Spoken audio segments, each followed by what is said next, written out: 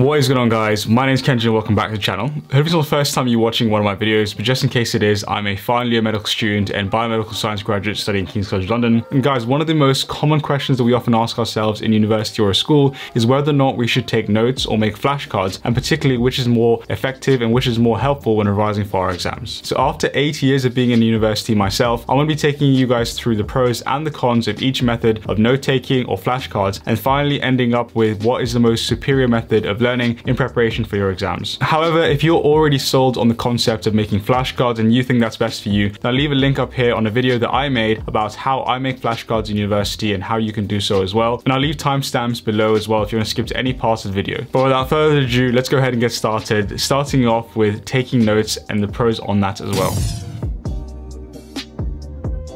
Okay, so taking notes is probably the most common way of learning in university, and I certainly did that for a very long time myself, but it's really important to talk about the pros. And what I mean by taking notes is after you've watched a lecture, after you've actually gone to lecture, coming home and opening up the lecture on your laptop, then actually taking handwritten notes on what the lecturer said, what was actually the topic there, and then starting to understand it yourself. That's what I describe as taking notes. Everyone has a sort of kind of definition, but I think that's the main sort of way of describing taking notes. Let's start off by actually talking about what the pros are with taking notes. All right, so the first pro in taking notes and the one that I probably, you know, liked most is that when you're actually making notes in that whole entire process, it allows you to actually learn through understanding and conceptualizing what you learned as a lecture and helps you consolidate your learning. So for example, if I'm in medical school and I'm learning about the cardiac cycle of our heart, I wouldn't actually learn through reading the lecture slides. How I will learn is by drawing out the heart, you know, on my on my piece of paper or my iPad and actually writing notes alongside it and breaking down the whole concept of the cardiac cycle step by step in order for me to actually learn that information and remember it for future use. And that's the first advantage on making notes. It allows you to actually understand it and translate what you've learned in the lecture in your own words to allow you to finally memorize it and understand the lecture content. And that's the first advantage of taking notes. The second pro of making notes is that once you actually invest the initial time to create the notes, you will then have a permanent copy of what you understand in terms of the lecture in your own words so that when it comes back to actually revising that topic in preparation for the exam, which might be in a couple of weeks, a couple of months time, you will straight away be able to understand and reteach teach yourself all of the concepts because once upon a time you actually invested the time to explain that concept in your own words so that your future self can actually understand what you're talking about. And that's the second pro of Make Your Own Notes. The last and final pro about Make Your Own Notes is that once you actually understand the concept through this note-taking process, it makes it a lot easier to actually commit that information to memory. So for example, if you're baking a cake, rather than using, you know, let's say flashcards to memorize all the ingredients in a sequential order, actually understanding why you're adding this ingredient,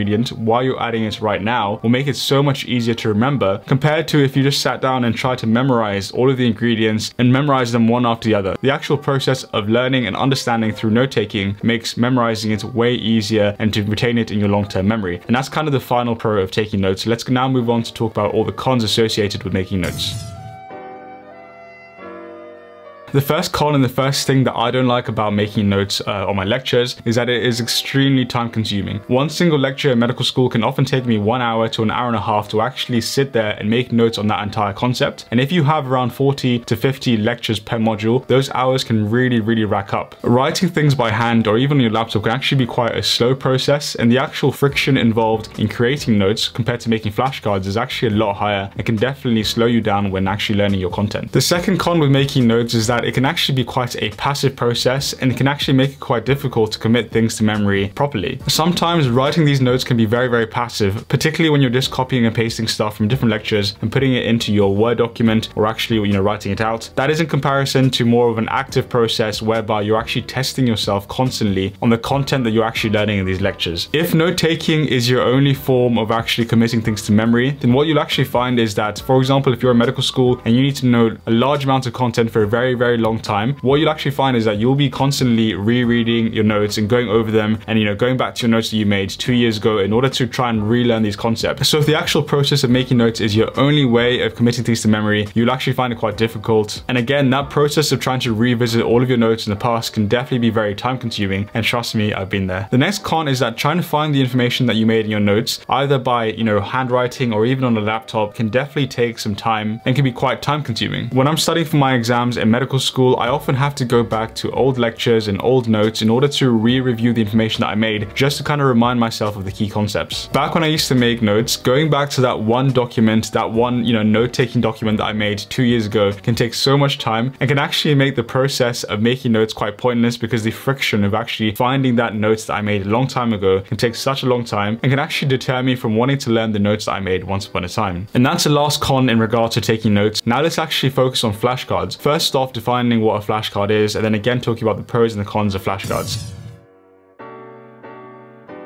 So starting off with the definition of flashcards. As I'm sure you guys know, essentially what a flashcard is, is having a flashcard like this, so a piece of paper with a question on one side, which might be, you know, what is the first part of the cardiac cycle? And then on the flip side, having the answer, which would be the answer that I said about the cardiac cycle. You can either make a flashcard on paper using an actual physical flashcard, or you can use a software like Anki flashcards, which is the Mac and the iPad software that I use in order to actually create these flashcards on my computer. But again, it's the same concept. On one side, you have a question, on the other side you have an answer. So this is in comparison to making notes, which is actually handwritten or actually typing them up. This is actually making questions that you can then later review and ask yourself down the road in order to test yourself and test the knowledge you have on a particular concept or on a particular question. And the first pro of making flashcards is that this is an incredibly efficient process and method of actually committing things to memory. One key thing that I learned at university is that you don't actually learn through writing, you don't learn through making notes. The way that you learn concepts is by testing yourself and trying to actually retrieve that information information from your head, that actual process of retrieval, of active recall is what allows you to learn a concept in school. So I personally do have notes as well, but I also have flashcards created over the last couple of years, which contains all of the information that I learned through medical school. And I actually go through these flashcards every single day, rain or shine, weekend or not. And as long as I actually do that, theoretically, I should contain all of the theory in my head from the last five years of medical school. So long as I continue to review these flashcards, continue to test myself on this information, and continue to remind myself if I get a concept actually wrong. And that's the first pro of using flashcards. The second pro is the actual friction to create these flashcards is incredibly low. When I actually make my flashcards, I don't actually type anything in the majority of time. What I often do is on one side of the screen have my flashcard creating app like Anki up. On the second side of the screen, what I often have is the lecture content or resources like PassMed. And then what I do is just copy and paste the information from the lectures or from PassMed and then paste that directly into my flashcard note-taking system on Anki. And that is the flashcard created the friction of doing so is incredibly low. And the rest of the time is actually just spent on trying to actually learn that content and information and actually review these flashcards, which can save me so much time. It can be very, very efficient. The final pro that I find with making flashcards is the actual retrieval of information is incredibly quick. So for example, if I'm doing a question on a, a cardiac arrest, if I want to actually retrieve the notes that I made on that cardiac arrest, all I have to do is go onto my Anki software, type in cardiac arrest, or for example, also just type in pulmonary embolism, and straight away in seconds, what Anki will do is retrieve all of the cards I've made on a pulmonary embolism or cardiac arrest, whatever I search for, and immediately give me all the information related to that topic. And because Anki also has an iPhone and iPad app, it means that all of that information that I made is available to me on the go wherever I might be in the hospital or in a lecture. And that process of retrieving information, retrieving the notes that you made is incredibly quick and easy. And yes, as I said, there's so many pros with making flashcards, but there definitely are a few cons as well to consider.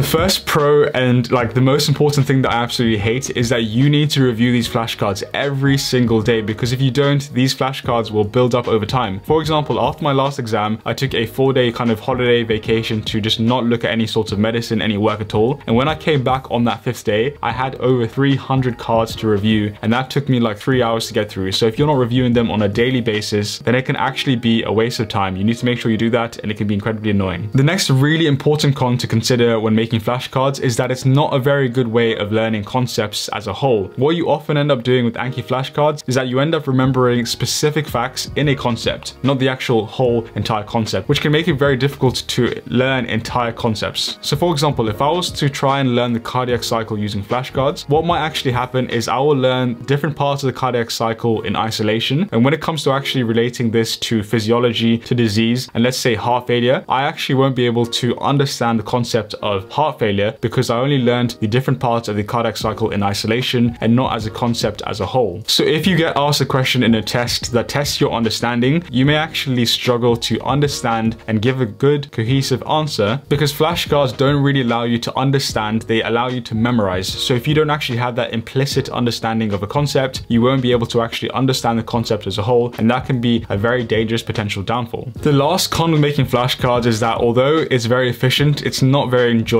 What I absolutely love about making notes, for example, using my, you know, Apple Pencil and my iPad when making notes is that the process of using this Apple Pencil, drawing, adding colors, all of these things is so enjoyable and I actually love sitting down creating these notes. And by the way, if you guys want access to all of the notes that I made to pass all of my exams in my third, my fourth and fifth year medical school, then you can go ahead and do that on my website. And as you guys can see, these notes that I made were so much fun. It was almost like a coloring book. So that process is definitely ruined by making flashcards. Not very enjoyable. It's copy and pasting a lot of the time, and that can take away from the fun of making notes. But if that's something you don't really care about, if all you care about is efficiency, then this is not really a point that you need to take consideration. But now let's move on to the final part, which is actually choosing and discussing what is a more efficient process of learning information. Is it flashcards or is it making notes?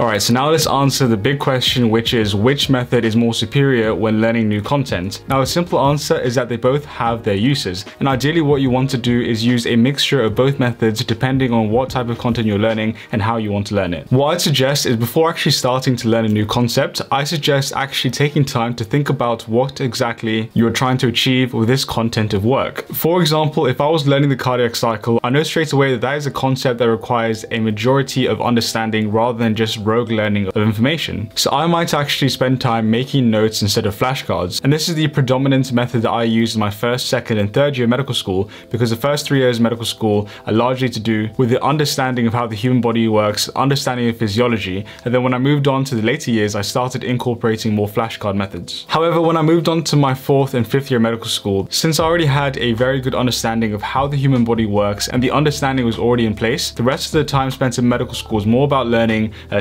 symptoms, treatments, and management, and the majority of that was purely based on memory recall rather than actual understanding of work. And that's why I started moving towards making flashcards to learn my new content. And over the last kind of year and a half to two years, I actually haven't made a single note for quite a while now, and the flashcard process of learning has really allowed me to get a large amount of information stored in my head over time. And as I said, if you want a full explanation on how I do this and how I make flashcards, a video, a video will be linked up there above. Ideally, you want to learn how to do both very, very well. So going back to the example of the cardiac cycle, when you want to actually start learning how it works as a concept, as a whole, I would recommend starting off making notes, you know, really understanding it, really spend time trying to understand the overall concept of how the heart works, how the heart functions. And then once you feel like you have a very good implicit understanding of the, how the heart functions, then I recommend moving on to flashcards to try and memorize those small tiny points that you're likely to forget in the future. And those points tend not to be about the general understanding because you should already generally understand how the heart works as a whole,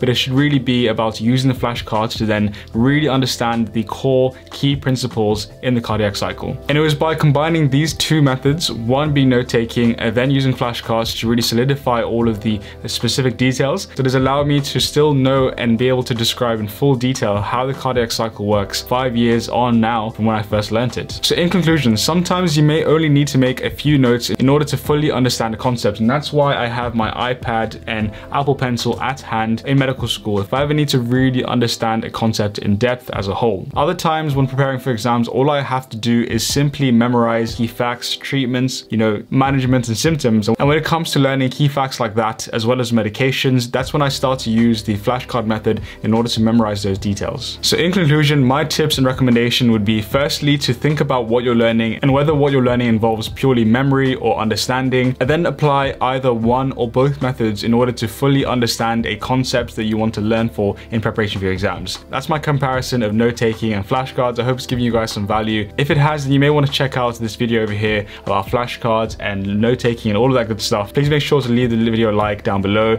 Make sure you subscribe notifications on to never miss a video when I next upload. Thank you guys so much for watching and I'll see you guys on the next one.